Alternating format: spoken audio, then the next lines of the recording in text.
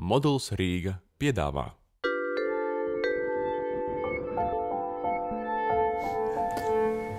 Ar, ar ko sākas fotografija? Tas ir doma, tāpat kā viss. Um, sākumā ir ideja.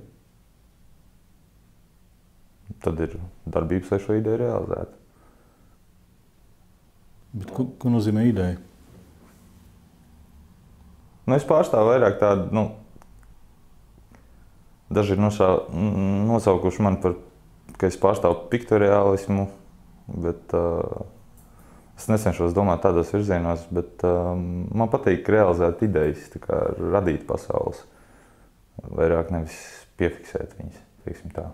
Lai gan, nu, karjerā ir visādi bijis. Sākumā ir arī iela fotografija darīta. Tur gan vairāk ir tā momenta ķeršana.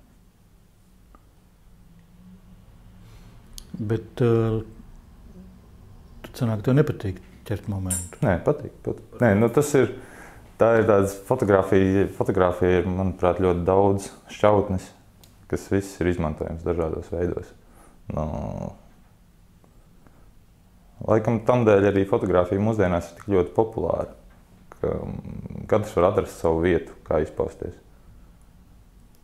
Ar domu dārzu ir manā fotografijā vienmēr pat, nu, man, man patīk eksperimenti. Un, uh, tas ir tāds tā kā radošais dzinulis, kas uh, liek kustēties un, un domāt jaunas lietas. Uh, konkrēti par domu dārzu runājot, pirmā, pirmais radās tehniskā izpildījuma ideja, vai, vai, vai vispār ko, ko tādu realizēt ir iespējams. Un um, izrādījās, ka ir. nu, es centos kā, pārvērst um, reālo vidi negatīvā, lai uz filmas negatīvu man sanāk pozitīvs. Nu, tāds maksimāli sačakarēja visu procesu, sarežģīja pats sev dzīvi, lai iegūtu interesantāku rezultātu. Un, um,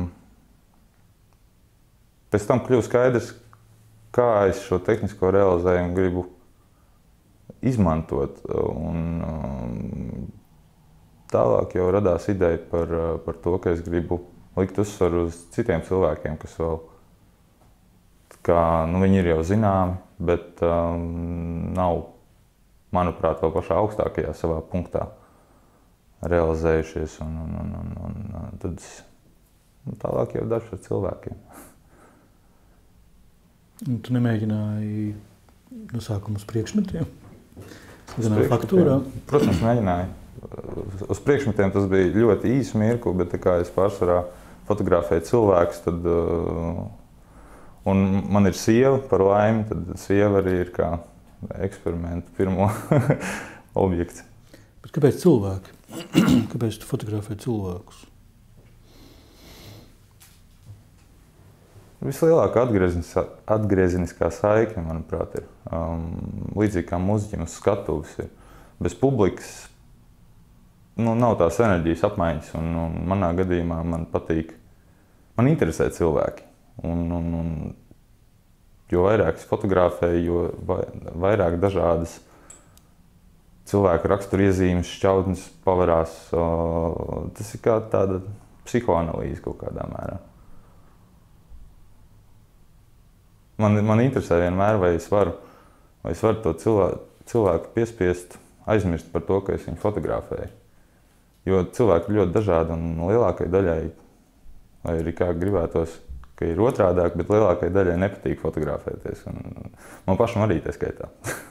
es labāk esmu tajā otrā kameras pusē. Un, un, un man interesē tie īsceļi, šortkati, kā es varu tikt un atkost to cilvēku vaļā, lai viņš aizmirst par to, ka nu, mēs kļūstam draugi dažu minūšu laikā.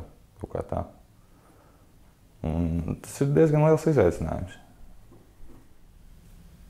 Nu, ja runa ir par, par cilvēkiem uz fotografijām, kas attiecas tīri uz cilvēku fotografiju, tad um, fotografijas estētika mainās līdz laikam. Visticamāk, jo nu, 20. gadsimta sākumā sievietes nevarēja iedomāties ar svārkiem virs ceļa, piemēram, vai, tu, vai pat zemāk par zemi, augstāk par zemi pat nebija svārki, piemēram. Un tas arī ļoti daudz nosaka fotografijas estētikā, kā cilvēki paši pasniedz sevi un kā viņi, kā viņi izturās pret lietām. Un, kas attiecās uz kopējo, tad um, laika gaitā ir uh, nu, fotografija, kā vizuālajā, fotografijā, kā vizuālajā mākslā, tomēr ir uh, vispār pieņemtie mākslas kanoni, kompozīcija, UTT, UTJP. Um, mūsdienās kompozīcijai, manuprāt, vismaz mākslas fotografijā, tā vērojot no malas, laikam vairāk nav īsti nozīme tik liela, kā, viņa, kā tā bija agrāk. Mm.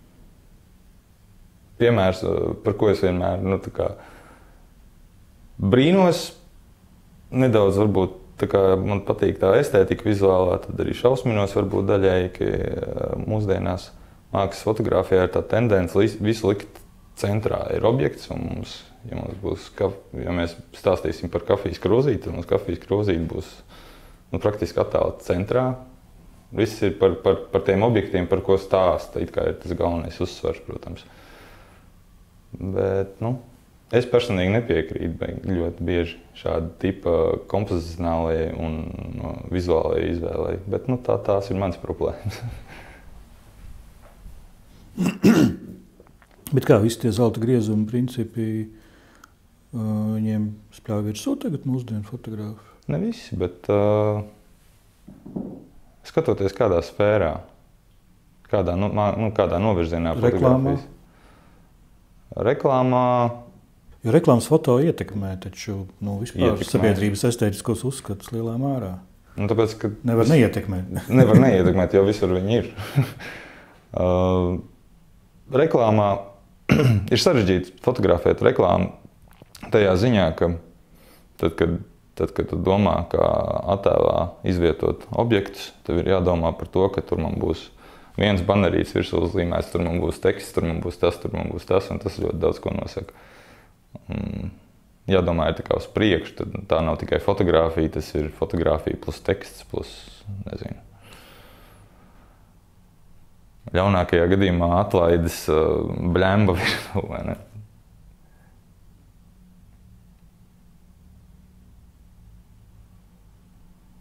Bet, uh,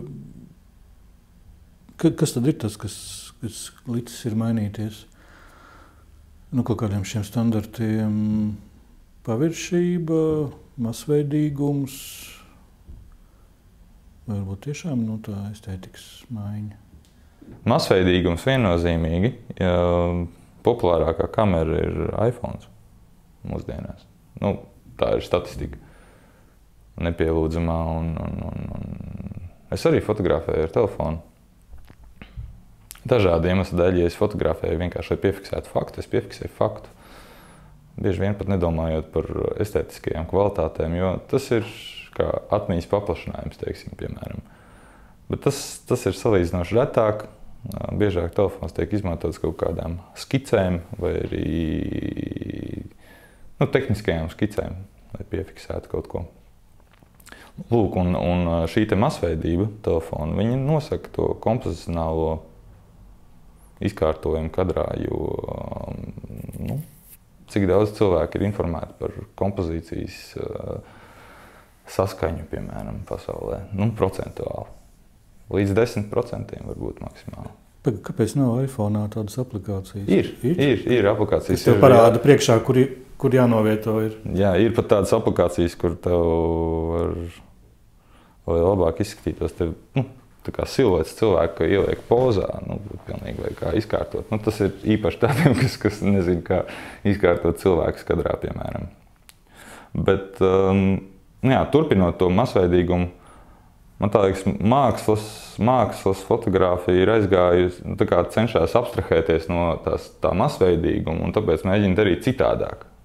Un, un šis citādāk, nu, tas būs citādāk nekā vienmēr ir domāts. Jo, jo, jo visas fotogrāmatas un visi, visi pamati vienalga mācīs par to, kā bildēt pareizi. Nu, tehniski gan, gan uzlikt pareizās diafragmas slēdžu laikus, gan arī kā iekomponēt pareizi, kā kā veidot krāsas saskanīgumu kadrā un tā tālāk un tā joprojām.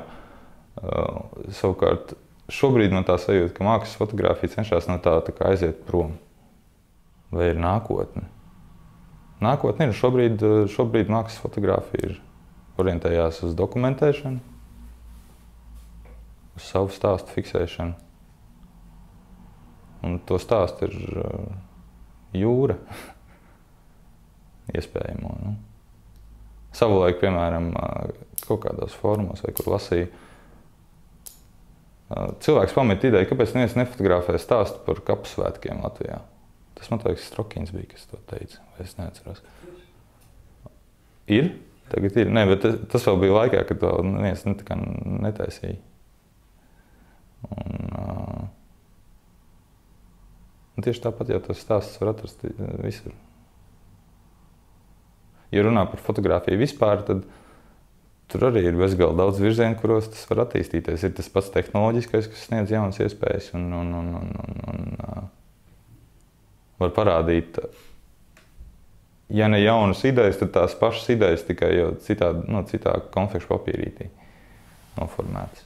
Bet man šķiet, ka tīri audzēt tos megapikseļus, nu, tas ir tāds bezgalīgs skrējiens. Nu, nu, nu, tā nav jēga. Fotogrāfijas. Tas nosaka fotografijas kvalitāti tikai tajā tīri tehniskajā līmenī un ne vairāk. Bet tā jau nav fotografija. Ātrums, ātrums, kameras ātrums. Vai... Jā, jā. Nu, tas uh, parametrs no ieslēgšanas brīža līdz attēlu uzņemšanai, piemēram. Viņš jau tagad ir diezgan ātrs. Es nezinu, nu, vēl ātrāk var, ja, ja būs šeit daniņos poga, un tad nospied pogu un fotografē. Nē, vēl ātrāk, tad, ja viņš fiksē jau principā visu, un tu tikai izvēlējies kādu. Izvēlējies, kuru, kuru pirms sekundes desmit daļām tu gribēji nofotografēt. Kaut kā tā arī iespējams varētu būt. Bet tas nepadarīs fotografiju kvalitatīvāk. Tas tikai izveidos vēl par kaut kādiem entajiem miljardiem vairāk fotografiju šajā pasaulē. Kas kvantitāte nekad nav kvalitāte. Bet apstrādā fotografijas mm, Photoshopā. Jā.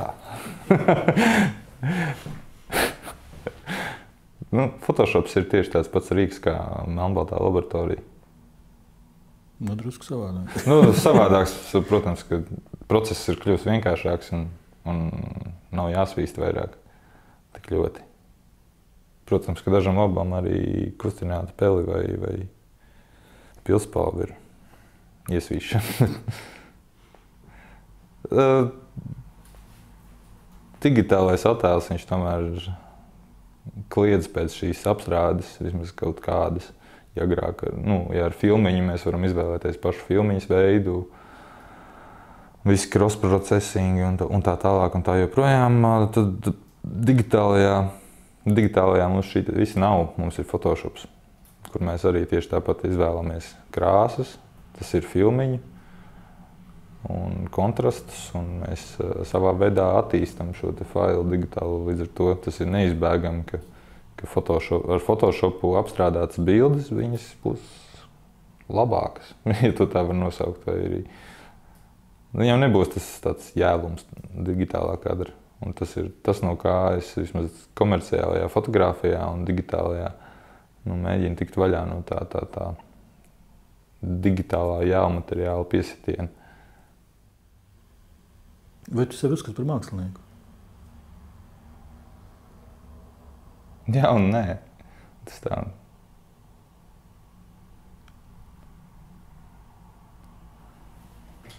Varētu nodefinēt tā, es jau uzskatu par cilvēku, kas ir ļoti interesēts fotografijā un mākslā. Vispār, vizuālajos mēdījos, bet par mākslinieku tas, tas nav man jāspriež. Es daru. Ja kādam tā liekas māksla, tad tā ir māksla. Ja kādam tā liekas komercija, tad tā visticamāk ir komercija. Es pats tādu, nu, man nav ambīcijas uh, kļūt par